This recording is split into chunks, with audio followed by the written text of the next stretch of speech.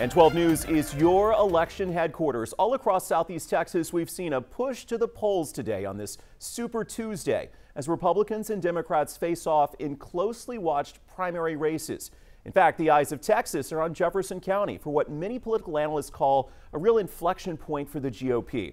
And that is because of this race for State Rep District 21.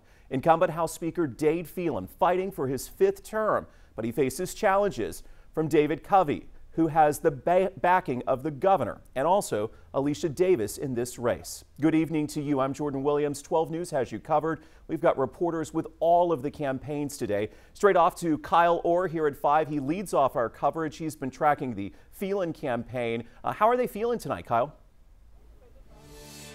Jordan, I caught up with House uh, Speaker Dade Phelan earlier, and he said that his uh, morning routine changed, quote, very little in one of the most important days in his service to Southeast Texas.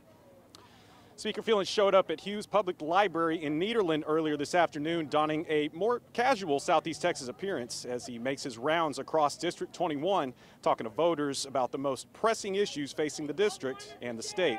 He remains passionate about addressing issues like crime and the crisis at the border across party lines, and standing firm on his accomplishments in the district for the past decade. Phelan tells 12 News the number of firsts he's brought to Southeast, in, to Southeast Texas in the past decade speak for his performance as a homegrown leader.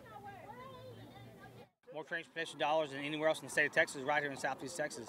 First mental health hospital in, uh, since 1966, right here in Southeast Texas. First uh, round of port funding in the history of Southeast Texas, $70 million. It happened this last session. Speaker Phelan also mentioned record funding resources and resources for Lamar University and the passing of constitutional carry under his watch as Speaker and District 21 representative.